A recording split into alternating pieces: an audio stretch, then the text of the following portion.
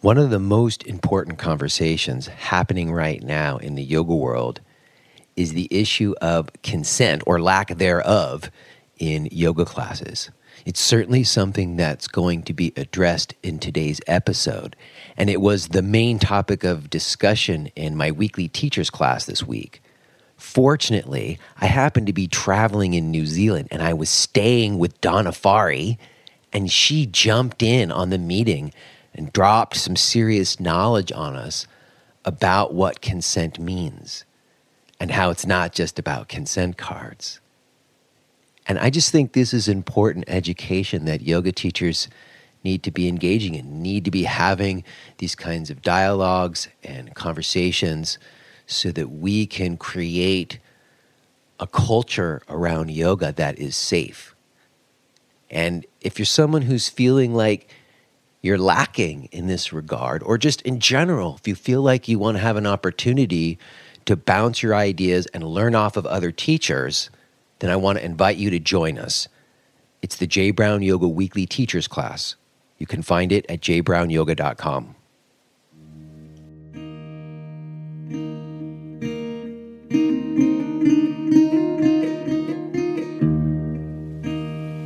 Okay, it's time. This is J. Brown Yoga Talks podcast. My name is J. Brown. If you're new, let me welcome you. If you're returning, how's everyone doing? So, I'm still traveling. I'm in Auckland, New Zealand right now. For the last week, I've had the good fortune of hanging out with Donna Farhi. I want to tell you about that, but I'm not going to do that today because today I'm going to forego my usual intro stuff because I have a very special and important conversation with Karen Rain that I want to share with you. And I just don't want to let my stuff get in the way. And it's a little bit longer than my usual episode. That's because we recorded initial conversation and then after that conversation, Karen requested that we do a follow up. So you will get to hear both of those today. One thing I feel like I need to say before we listen to today's talk is I feel like I need to make an apology. I want to apologize to Annika Lucas. Annika came on this podcast and she told me that Pattabhi Jois sexually assaulted her. And it's not that I didn't believe her, it's just that at that time, I didn't know what I know now. And I feel that I ended up diminishing her story. And I am committed to not doing that in the future. So I'm betting Annika's going to listen to this. And I just wanted to make an apology to her publicly, specifically before we listen to today's talk. So for whatever that's worth. Also, I do need to mention that today's episode is sponsored by YogaAnatomy.net. And that is the educational resource of Leslie Kaminoff and Amy Matthews. And I've talked about them a lot because they're both friends of mine and teachers of mine. I've taken both of their courses, they've been on the podcast. I encourage you to go back and listen to the episodes. But they have a fundamentals course that is fantastic. I use it in my own teacher training program. If you have a teacher training program, you could easily plug it into yours. Or even if you just want some continuing education, it's an invaluable resource. So if you or anyone you know needs to study some yoga anatomy, or maybe you just want some deep yoga learning, I highly recommend you check it out YogaAnatomy.net. Also, I've got a couple of gigs. Let me drop those too. I'm going to be in London, England, January 11th through 13th, and Tel Aviv, Israel, January 18th through 20th. You can find those gigs and more. You can listen to the archives of the podcast, find the blog, and all my online yoga video stuff at jbrownyoga.com. All right. So I will touch base with you on the other side. I'll tell you who's coming on next week. But for now, we're just going to get to this. Let's listen to this talk that I had with Karen Rain.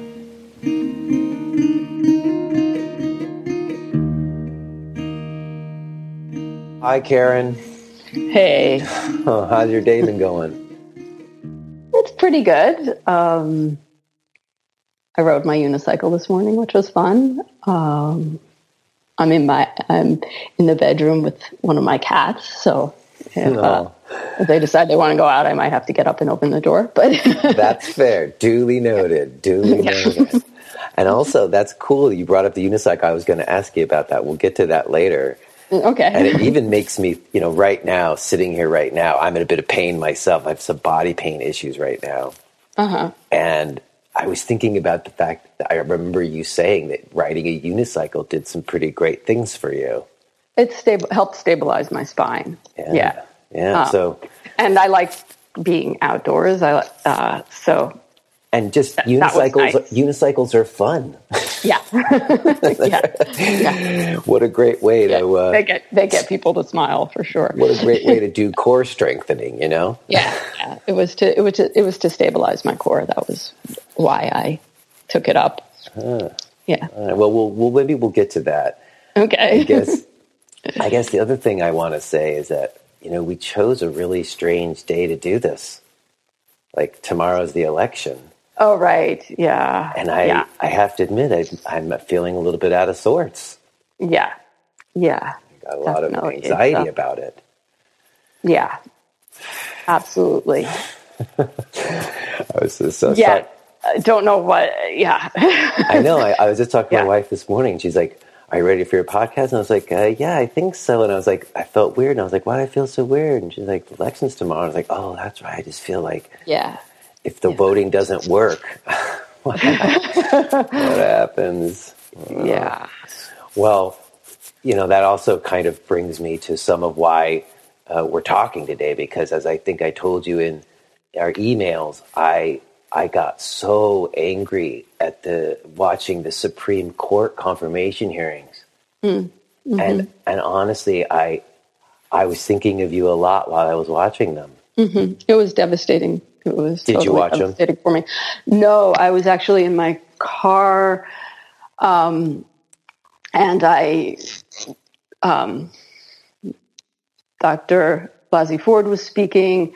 I was playing with the radio. I listened for just a moment where she just asked, um, "Could you please repeat that question?" And I, the, the sound of her voice, I couldn't bear it.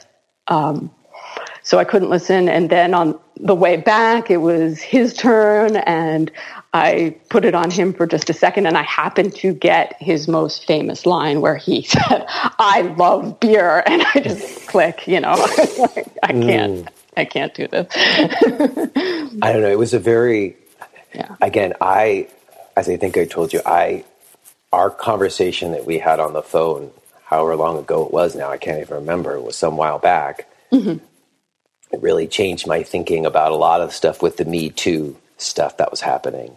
Mm-hmm. And when that when he came on, that the strange thing about that was the way like his response was to get angry, mm-hmm. and then all these men rallied around him mm-hmm. and just got angry with him, yep, and then it worked. yeah, And I went, "What? right, right, right. what?" Yeah, yeah, Yeah, it was- it's it's crazy. Yeah. And and I guess I also just thought, well, you know, when we spoke last was around when I did that series of podcast on what was happening with the Ashtanga yoga community. Mm-hmm. And at that time, you and I, you know, you you thought maybe you would talk to me then, but then we thought better of it. It was so hot at that time, and I mm-hmm. remember thinking, and, and I, I when we were sort of saying goodbye, I was like, well, maybe we'll revisit again because I I suspicioned that the conversation would recede and go away again. yeah, And so I, after watching the hearings, I wanted to bring it back up. And I Yeah. spoke with Gregor Maehle, and, and that'll play before this. And I spoke with Jenny Wilkinson Priest, and and I and I'm glad to speak to you. I'm wondering. I know you recently put out a post on Medium, um, and I'm just sort of wondering how, since we last spoke, have you been keeping? Have you been paying attention to what's happening? Have you not been paying attention? You mean within Ashtanga? Yeah, like well, what's been happening since you came out with everything, and since those conversations happened? Do have you been paying attention to anything that's been going on since? I wouldn't say I've been paying attention. I'd say people draw my attention to certain things. Um, people will send me stuff or disclose to me something. Um, so I don't really know. I don't necessarily know the what the loudest or most common responses, but I know some of them. Hmm. Well, the ones that I've been seeing, well, again, a lot of them haven't been a lot. Things have kind of gone quiet. Mm-hmm. But when I really did start to poke around, there seemed to be like a number of kind of statements happening, but on a purely grassroots level. Like Guy Donahaye, the author mm-hmm. of the book, he he came out with a statement which I thought was very significant. Mm-hmm. Um, and and some of those folks, and even like I know some people in the UK are trying to start an alternative organization or something, but mm. it seems to me uh, nothing from sort of the organization or the top. Mm-hmm. Um, and there's some folks who I just think are kind of like drank some kind of Kool Aid and are like in complete denial about stuff or something. Mm-hmm, mm-hmm. Um, then there's other folks who are acknowledging what's happening and feel that that it needs to be reinvented, or who are struggling because they a lot of them still really love the practice, mm-hmm. but they're like ashamed to say they're Ashtanga practitioners or something. you know, like they're scared or they're they feel persecuted, which you know, is also maybe a defense mechanism. But but on some level, they are.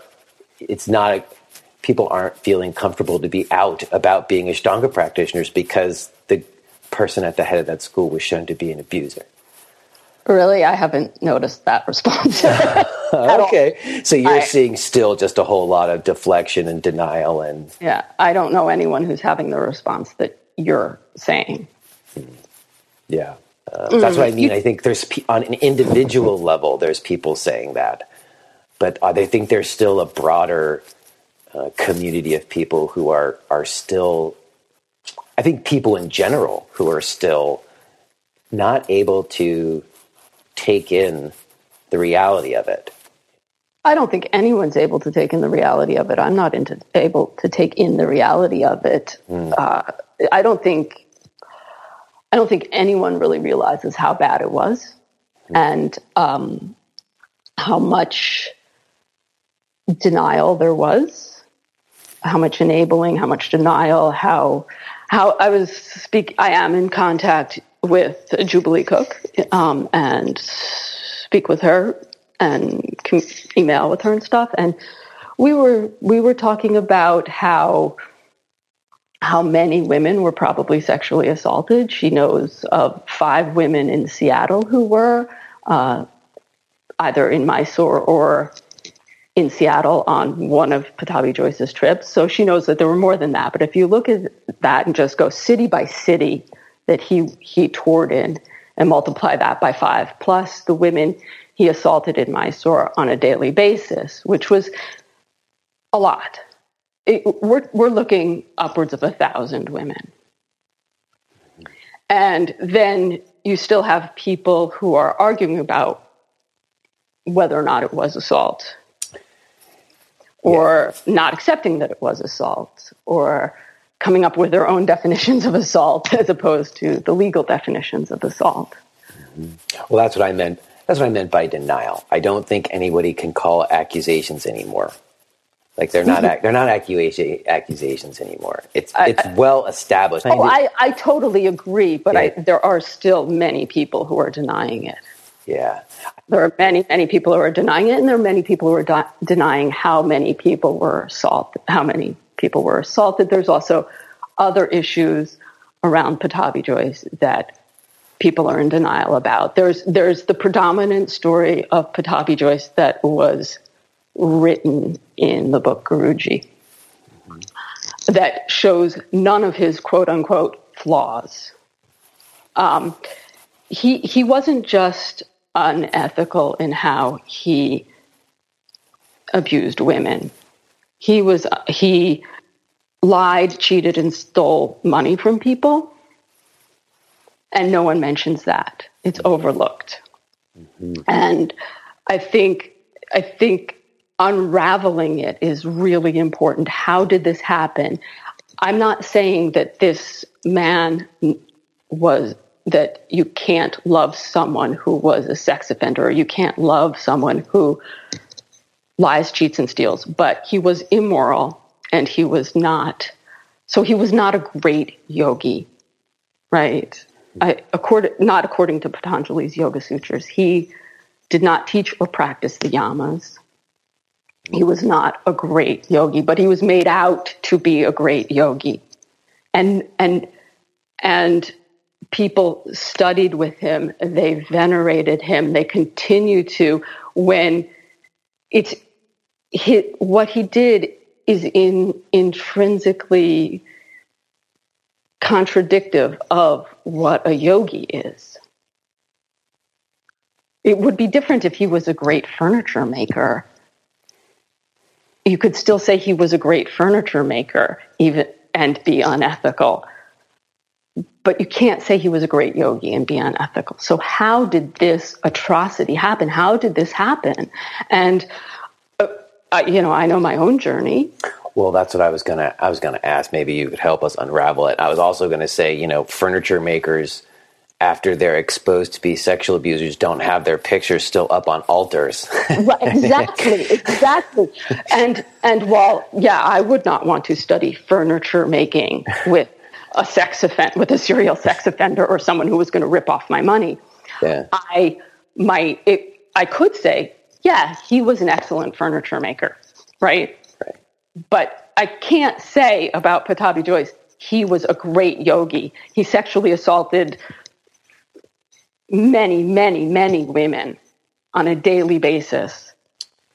And he lied, cheated, and stole money from people. You cannot say that's a great yogi. It's not just a that, flaw. That's an important point. I, it's a really important point because people always want to separate teachers from teachings, but I think I'm going to agree that sexual assault disqualifies you from being considered a master yogi. Yeah, yeah, especially if you're going by. If you're, I don't think someone can be called a master yogi if sexual assault has been in their behavior. I just don't think that's. He chose the uh, he chose the name Ashtanga Yoga, right from Pat- Patanjali's Yoga Sutras. Especially if you're going by Patanjali's Yoga Sutras, that just doesn't fit. Mm-hmm. And it's interesting because some one of the uh, criticisms that I get sometimes. Um, and particularly there were two with the lat with the with the article that was um, published for Medium mm-hmm. that uh, two people said that's that's real traditional yoga and were insulted me that I was just some stupid Westerner who couldn't tell that that was real traditional yoga. Mm. And it's interesting because just this morning, I don't know if you saw it, but a woman from yes. Bangalore, yes.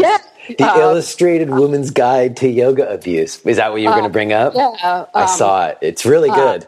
yeah. Her name is Poongam Mali. And it's, yeah, the Illustrated Woman's Guide to Yoga Abuse. And it's great. And for me, it shows that no, besides that I knew anyway, but mm. it, it just defeats that argument about how this was traditional and cultural and whatever. Yeah. yeah, I think that's important too. That that he did that to women in India, not just in America. Right, and also his wife was alive most of the time that I studied with him. Um, she died at the end of 2000, uh, uh, no, of 1997. Um, I had already spent 22 months in Mysore. Well, let's let's go back to that. When did you start? Did first of all, I'm curious. Did you practice other yoga before Ashtanga? Um, okay, so I don't. I don't actually like talking too much about the pre my pre abuse yoga experience because it makes me really sad. Um, it, I loved I loved Ashtanga yoga. I loved yoga, and then I found Ashtanga yoga, and I loved Ashtanga yoga. It gave me a sense of meaning and purpose and joy and vitality. And for me, it definitely was um, an antidepressant. Um, and Pattabhi Jois sexually assaulted me and spiritually abused me. He robbed me of those things. That's what spiritual abuse is. He robbed me of of what was what was meaningful to me, of what was deeply personal. And uh, it's just really not fun for me to talk about that time. Um, I can talk about regaining that because I think what I'm doing now, uh, I didn't realize when I came out with my hashtag MeToo statement, and it's definitely been quite a journey um, since then. And I think you can hear in my in my interview with Matthew, my voice is shaking. I'm I'm down. yeah. Um, I think my voice probably sounds a little bit different in this interview. Um, I'm still nervous. Yeah. And Me too. I may, I'm nervous too. Yeah, for whatever yeah, that's worth. Yeah, and I, I, I, may, uh, I, may, always be nervous when I talk about this, but I can say that I feel that my spirituality has pivoted towards justice and civic engagement, and I feel a new sense of meaning and purpose and joy and vitality in in speaking truth to power. Right. I appreciate that so much, and yeah, I, I hear you. So I guess I'm just not everybody listening might really know who you are, and I only know I only know who you are because of the infamous video, like right, the, right. The, that primary series video, which like everybody in that video went on to have these like whatever yoga careers, mm-hmm. uh, and you were in the you didn't, and now right. we know why. Right. Um, right. And, right. and, I, and for anybody who was like coming into yoga, like in New York in the early '90s, like me, there was a whole. I think the Ashtanga yoga community was different back then than it is now. Um, yeah, I I don't know it now though, so yeah. I couldn't really speak to that. But you did. You spent what was that? You said twenty two months in Mysore.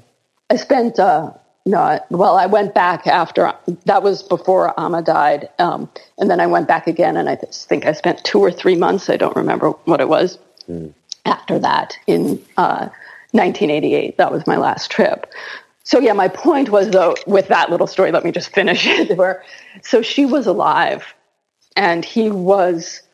Besides the sexual assaults within the class, when women would prostrate to to to say goodbye to him, he would then kiss many of us on the lips and grope our buttocks.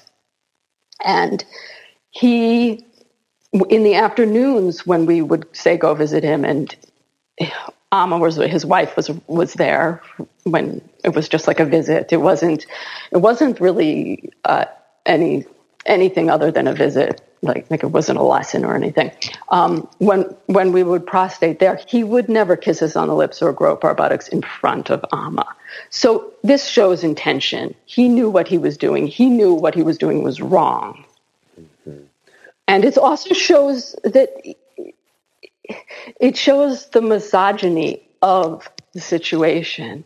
And it makes me sad that I even drank that I drank that Kool-Aid because it, it to me, Ashtanga yoga at that time and now, and this is why I keep speaking about it, it was and is an exaggerated caricature of rape culture. Not only did he disrespect women, he disrespected his wife. People can't, uh, I mean, what do people think that he and Amma had this open relationship and he told her what he was doing to women in the yoga class and she was okay with it? I mean, I really doubt that. Well, that's that's true. I know. I also noticed. You know, I was surprised. You sent me that link of that video of the full right, class. 1982. And I, I right. watched that 1982 video, and you know, it's startling. And what I noticed was he did not do the same adjustments to the men that he did to the women. Right. he is, did not. Is, it was so obvious. Everybody says that. They're like, "Oh, he did that to everybody." No, he didn't. No, he didn't. But I also think that that is the funniest argument I've ever heard. yeah. Imagine using that argument for priests. Mm-hmm. saying, well, the priests, they did the same thing to young girls as young boys. So I don't think it's sexual abuse. I think it's something else. Does that make any sense? Mm-hmm. No, it doesn't. Right. And, and I did, I have heard two stories about him sexually assaulting men. Um, one, the man just thought that Pattabhi Jois mis- mistook him for a woman because he had long hair, but it was he, went up from behind him and grabbed his genitals. Um, and who knows? I mean, maybe he knew he was a man, maybe he didn't. But it doesn't matter. it's sexual assault in any case, right? Well, I think that's an important point. someone's genitals is sexual assault, regardless of the gender of the person. Yeah, I quoted your article in that regard. It's like if you wrote, yeah. if someone grabbed a woman's breast, genitals, or buttocks on the street, digitally penetrated or dry humped her, it would be sexual assault. We would not ask the perpetrator's motives, if he had an erection, or if it was th- if he was thinking sexual thoughts at the time. None of that changes the crime, which is about right. power and aggression. Right. And, and you wrote exactly. the women may brush it off like it's no big deal, but it, and it doesn't really bother her, but it's still sexual assault. Right, exactly. And it and it doesn't that's another thing that I'm finding now with, with the rape culture of of the Ashtanga community and rape culture in general. I, there's so many similarities. Actually, the only difference is that I haven't heard that one argument in other situations that oh that perpetrator did the same thing to men as women. That seems to be really unique to Ashtanga. and not even true. That's the thing. right. Right but uh, yeah it's just such so absurd. But um, there are so many similarities. I guess i guess the other question i have is in the conversations i have with people mm-hmm. it sometimes seems in my mind like there's two different threads and maybe they're not different one of them is sexual assault, is him touching women, body parts, putting his penis up against them. Yeah. Uh, and then mm-hmm. the other is just what I think are sometimes the the hard abusive uh, adjustments. Assault, just, just, and, and, everybody yeah. experienced those in one way or another, right? Right. And have right. a different relationship to them. And I talked with Matthew about somatic dominance, you know, mm-hmm. and I, do you think they're on different threads or are they the same thing? Or is it still just power? Oh, I think it's still power. It's power. It's totally power. Yeah. I, I do think to me I and I talked with Jenny about this. Like she was talking about leg behind the head and I at some point said, "Well, well, why? Why do we need to get our leg behind our head? and there wasn't really a clear answer. Now, I can't, you know, people have their own purposes in their yoga practice, so I wouldn't assert anything other than what they want it to be. But I, I, I think sometimes I question, you know, just the forms in and of themselves. But I mm-hmm. guess the issue for me, not really issue, I guess the question is when we talk about consent, which is the other side of this mm-hmm. now in the yoga world, right. a lot of times consent is often based on the person deciding that they were made to feel and un- be uncomfortable. How do you mean? Like, in the sense that they often say that consent means that the that the often the woman, or I guess it doesn't have to be the woman.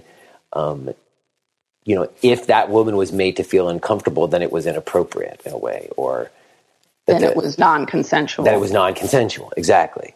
And so well, the rubric, that's, that's, the rubric is the experience of that person. But that's in retrospect. Yeah.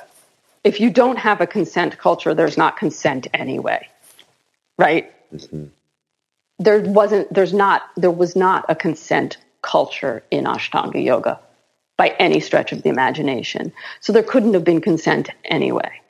Now if you go if you're well my kitty wants to go out. Hold on. Okay go go let her out. We knew it might happen and then there it is let her out.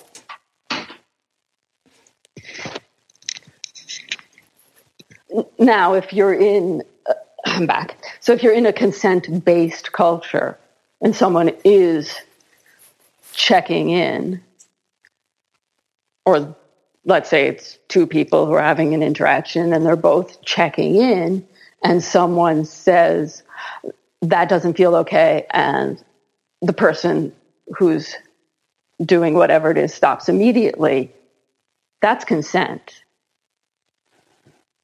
A person experienced an uncomfortable moment, but they were they communicated it and it was stopped. That's still consent. It's not like oh, you have to be perfect and you can you have to know what the other person wants. That's not what consent is about. It's about being open to feedback always. It's an ongoing conversation. Right. And you said in order for that to happen, there needs to be a consent based culture. Right. And that's what I I don't I don't think it's just Ashtanga yoga that there's not a consent based culture. Oh, I agree. I yeah. think and a lot you know, even myself in my own evolution as a teacher, you know Oh, in my own evolution as a person, I didn't know what consent was when I was younger. Yeah. I, in terms of its usage as now consent culture, what do we what do we see in the in the movies? We see usually they're heterosexual pairs, but we see the male grabbing the female, kissing her passionately. At first, she's not sure, and then, oh, she figures out she really likes this guy and she's really into him, and then they have great sex. Like what? Mm-hmm. that's what. That's not consent. Yeah. I know, and there was a great, I heard a great series of podcasts on Radiolab about this, mm-hmm. um, about how how even sometimes women just uh, there's not a culture in which they can communicate it, and sometimes they were even just just to get out of it, they will allow for things to happen, and then they feel afterwards they have to reckon with that. You know, like, totally. We're dealing with harm control. Yeah. Like I just want this to stop um, I don't want to be harmed. I don't want to get this guy angry. I don't want to be harmed. Um, there's there's a great article I've heard. Uh, why I made my rapist breakfast. Uh, definitely, I'd love for you to include a link to that. Okay. But it it it it describes that, and it yeah, and we are taught men know better than us our own desires. They can kiss us passionately and make us melt, whether we're into it or not at first. Yeah, you get really dumb messages as boys. I mean, yeah, and yeah, and you're getting the message that you could do that, right? You're not. You're supposed to. That's what you're. That's what right. being a man right. is, or something. Right, right. You're not getting the message that oh, you should ask, and if they say no, you should. Uh, you should just quit. you're getting the message. Oh, if they say no, just ask again, or maybe they're still in, maybe they are interested, or whatever. You know, you're not getting the message. Just quit and leave her alone. She told you she didn't want to. mm-hmm. Well, and that, I mean, that conversation doesn't happen often in yoga classes when someone comes over to give an assist. Right. Or, or they, uh, if sometimes they call them adjustments. I always use the word assist because I don't, I don't consider them right. adjustments. Pe- people have changed it. Definitely when I was when I was doing yoga, it was called adjustment. I, oh. I had never heard assist. I think that's newer.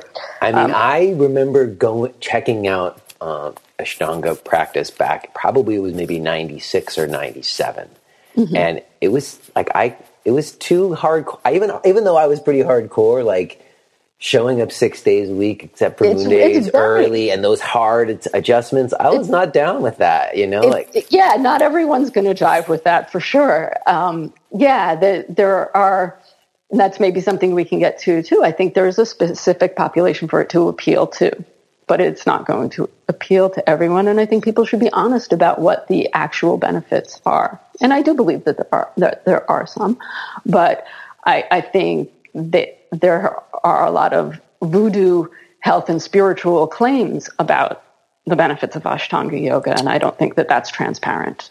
Well, again, there's those same voodoo claims across all the yoga schools. All know? yoga, yeah. It's all, yeah, I think yeah. the research coming out, sort of debunking some of the origin story myths, and science coming out, and new mm-hmm. science coming out, and. Mm-hmm. And we're talking, yeah, totally. I totally agree.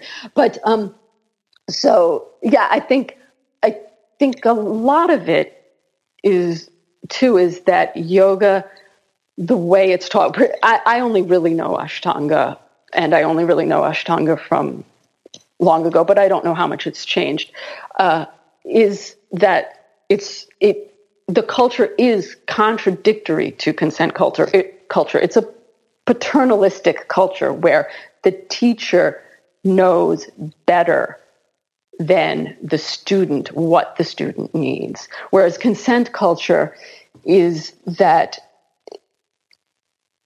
uh, per- believes that a person is the best judge of their own wants and needs, and there's a deep respect for um, bodily autonomy, which is really different from Ashtanga yoga, where the teacher know, knows when you're supposed to stop practicing. They know when you're ready for the next asana. They know, you know, they're telling you what you need. You're not really able, you're not supposedly not able to figure that out yourself. Um, well, I spoke to Gregor about that specifically, and that mm-hmm. was what he was saying in terms of like the main thing that needs to happen in order for it to be reinvented because he still teaches like right. the forms but right. he's he said exactly he was referring to the hierarchical dualistic structures you know he uses some big right. language but he was talking about that being inherently um, setting up for this lack of consent culture totally uh, it's totally lack of consent culture and so how to meet that and and plus the Ashtanga yoga practice is very circumscribed. As you said, six days a week, you take new moons and full moons off, and then there's the sequence. And what if someone doesn't feel like doing the sequence in that particular order or but feels like throwing in a new asana or taking one out or whatever. There's not really a lot of room for that. Well, I know that that is something that has changed some, even in more whatever the I don't know what you call it. I wanted to, I was about to say traditional circles, but then I I thought better of it. But I would say that there I know for a fact that back when I first checked it out in the 90s, late 90s, it was like if you couldn't do stuff, you got sent to the back of the room. There was no resting uh, and it was strict. And I do think that that has changed some, where they are a little bit more, I don't know, lenient about letting people rest or make changes to the forms. Um, yeah, one of the things I was thinking of that that actually I had thought of when I could no longer do Ashtanga, uh, but I hadn't yet quit yoga. The way I had looked at it was okay. I've learned four and a little bit of five scales, say, musical scales. It's my analogy. And now I want to write my own songs. I want to create my own music with these scales that I've practiced thousands of times. I couldn't do it because of the abuse um, and the, the physical pain that I was in, but I was thinking that this is this could be part of some reinvention by someone if they were interested. I don't know. mm-hmm. that to look at it as because I think what I loved about Ashtanga was more actually the jumping back and jumping through, um, but it was the flow. I thought it was beautiful when I saw it, and um, that to give people more of there's not there's not like what you describe uh, how they've modified it now. It's really still not a creative endeavor and I really like obviously creative expression. Mm-hmm. Uh, and I don't I don't see why that can't be in yoga. I know that for some people, having structure, having an externally imposed structure, like here is the sequence, this is what you do, and you do it on these days and you don't do it on those days. And you you know it's just very clear they don't have to turn inward to to look to try to figure out they don't have to make decisions about what to do next. Mm-hmm. but it does it cuts off creativity and it cuts off it does it cuts off uh, self inquiry with a small s. Well, when First of all, I think the musical scales metaphor is a good one because, mm-hmm. mm-hmm. like, mm-hmm. I, I, use that metaphor, but in a slightly different way, which is that you can you can learn to play scales really proficiently and be a totally uninspired musician. Absolutely. And then somebody yeah. who doesn't know any musical theory at all can pick up an instrument and play something totally brilliant. So, so I've always Yeah. felt that too. Well, they would probably need to practice a little bit before they could play Maybe, but totally somebody brilliant. could pick up a drum. And I don't know. I'm just saying it's very primal, you know. But what I would say is that a lot of the people I've been talking to are trying to do what you said. They feel like they learned a bunch of scales and they learned they learned things and experienced things that were helpful to them in practice. And Mm-hmm. they feel that they can use those things. But I, that's my question to them is can you still call it Ashtanga when you do that? Oh well, It- that's it- not a question for me to answer. That's That is, that is. Now, to the I, other, I'm not doing it. So now, the other thing I would say is that myself, I have a very structured personal practice. Like I do the same forms. That is something I kind of took from Ashtanga, and I don't. But my my structure is very simple. Like they're super easy forms. They're not like at all very physically challenging. Mm-hmm. But for me, that is actually helpful in terms of inquiry. Like I do the same forms every day, but they're not the same every day. And I observe those differences. So Okay. I, I think that there is a way to use structured. And I and I, I I laugh about this and debate this with other teachers. I know other teachers who even trained with me who they would they want to mix it up every time. It's much more of a creative expression like right. that for them. So this suits you. Yeah, I always say it's like personal taste. Like when I go out to dinner with my wife, I always get the same thing, and she goes, "Don't you want to try something else?" And I go, "No." Like it's, it's sometimes it's just that. But what I want to say is that I do think when it is a dogma, you see, even with me, like no one has to stick to it. Like I don't have to stick to it, and nobody else has to stick to it. It's just Right. something for us to go off of as a place of inquiry. And when you have that as the context for the structure, not this is the right way to do it, and if you can show me you can do this one, then I'll give you the next one. Like that's a different. That's a different Right. uh, and. I also think that, okay, so you have this practice, as you say, it's a structured practice that you've self imposed on yourself. So you already did some right. experimentation to find it, some self inquiry to find it. Now, let's say at some point, If you are hearing this message, then you're listening to the free version of J. Brown Yoga Talks. To hear the rest of our conversation, please subscribe to Podcast Premium at jbrownyoga.com slash premium.